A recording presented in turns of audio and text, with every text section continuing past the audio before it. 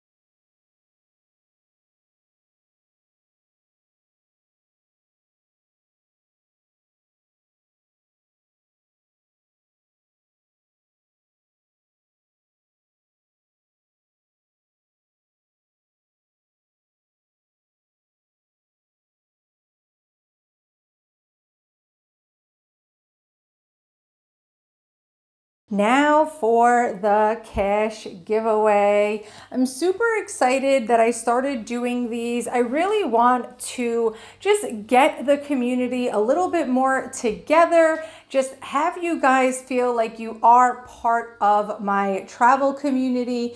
And what better way to do that than to be contributing to that travel piggy bank?